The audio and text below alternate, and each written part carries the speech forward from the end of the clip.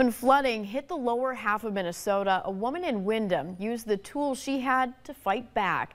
A big part of her plan, rally her entire community. As Kendall Larson reports, it worked. This has been the worst flood that I've ever seen in, in Windom. When flooding was at its peak in Windom, people were struggling to contain the ever-present water climbing its way up from the lakes and rivers. You can't save everyone, but I feel like if you can help, you should. When Hillary Mathis saw the mess, saw the struggles, she rallied the Windom residents into a cohesive unit. I don't know if anybody else could have done what she did. It all started with a Facebook group.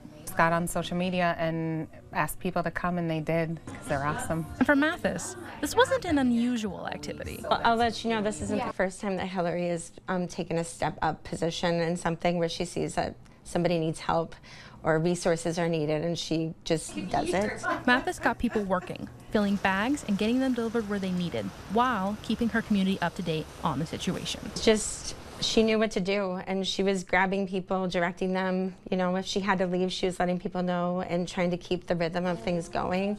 And when the flooding peaked and after sandbagging efforts were finished, the Windom community could not stop singing Mathis's praise. Super humbling. It makes me emotional. Mathis gives her credit right back to the Windom community. Just all of them, everybody here. That's who inspires me. In Windom, Kendall Larson, KEYC News Now. The flooding in Windom is starting to go down on the Des Moines River.